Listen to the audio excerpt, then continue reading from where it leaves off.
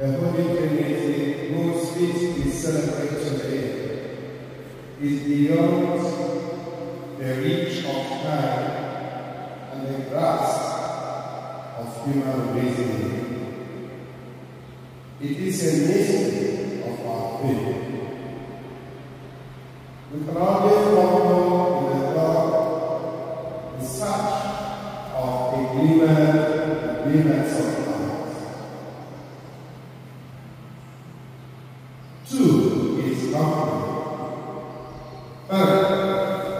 is a crowd.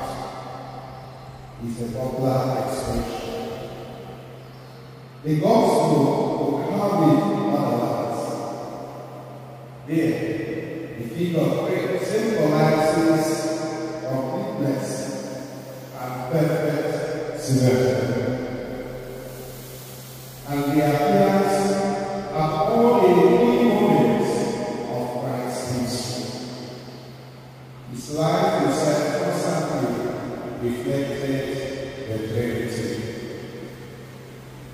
Three figures make up the nativity scene in Bethlehem.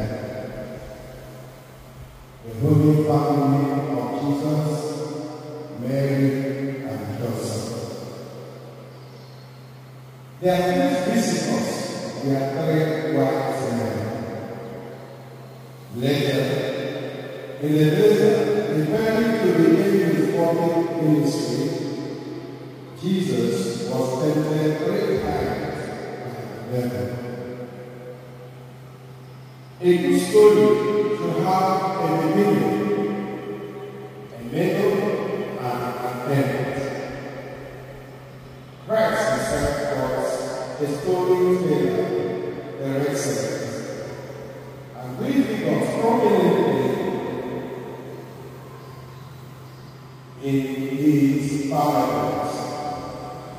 The prodigal son is about the father and his two sons.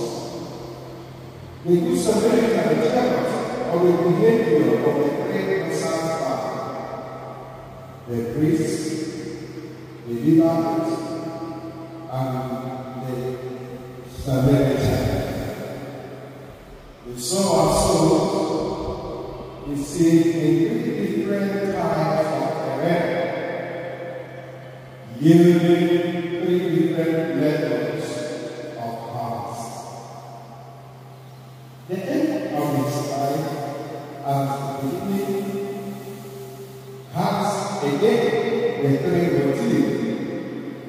During his action, Peter denied Christ. On the road to Calvary, he fell times. This crucifixion scene has three figures. Christ between two thieves. Before his resurrection, he spent three days in the tomb. God is love. There are three persons in the Trinity the Father,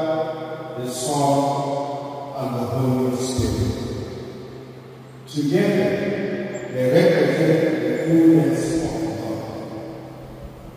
The Lord, the Father loves the Son, the Son loves the Father.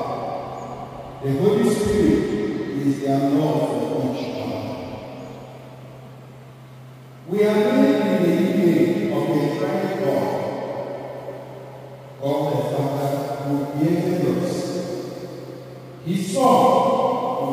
us. And the Holy Spirit will continue to guide us. Our lives will reflect the Trinity.